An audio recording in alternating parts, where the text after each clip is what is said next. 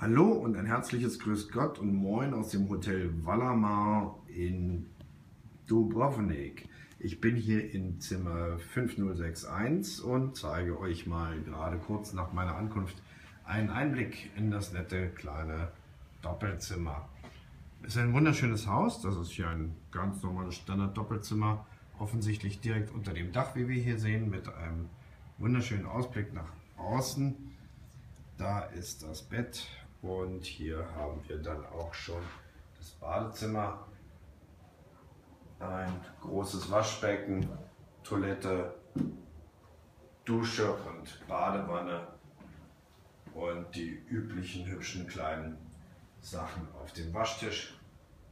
Genügend große Handtücher und ein Flatscreen-Fernseher ist da.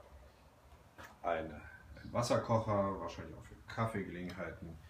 Da unten befindet sich die Minibar. Die machen wir jetzt nicht auf, weil die extra schön abgeschlossen ist. Dann lassen wir das doch einfach mal so, weil ich nicht vorhabe, da was rauszunehmen.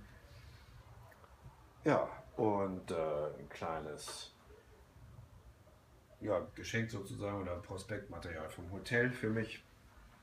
Und dann werfen wir noch einen Blick hinaus. Hier Dubrovnik.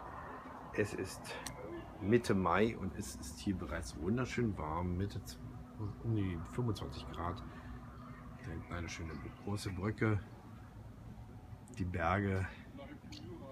Ja, es ist sehr schön und einladend und das macht doch schon mal richtig schön Lust und Appetit auf die kommenden Tage, in denen wir uns um die kulinarischen Köstlichkeiten und den Wein in Dubrovnik kümmern wollen.